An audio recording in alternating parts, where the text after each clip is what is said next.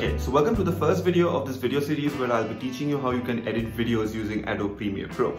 So we are all at home right now during this quarantine time, so this is the best time to pick up a new skill. So if you're thinking about opening a new YouTube channel or if you already have a new YouTube channel, learning to edit videos using a professional software like Final Cut Pro or Premiere Pro is a skill that you would want to pick up right now.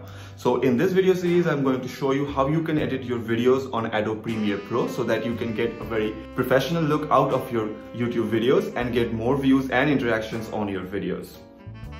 Okay, so for this whole video series, I'll be using footage that I have recorded using my Nikon D3300 over here. So I use this camera to record all my YouTube videos and I'll be using footage from this camera, which is shot at 1080p at 24 frames per second. So this whole tutorial will be broken up into several small videos, each covering a single topic.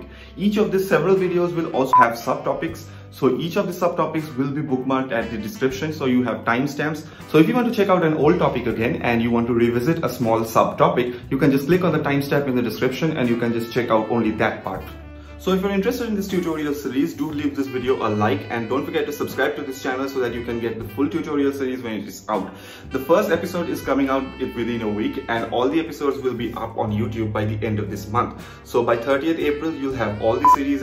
So as a disclaimer, I want to mention that this whole video is being edited on Final Cut Pro 10. So if I receive a good response on this tutorial series, I'll definitely do a new video tutorial series on the Final Cut Pro. And by the end of this tutorial series, I'm sure you'll be able to get out much more professional looking videos on YouTube and get much more videos, video views and interactions. So that's pretty much it from this video and I'll see you guys in the first episode of this series. Bye bye.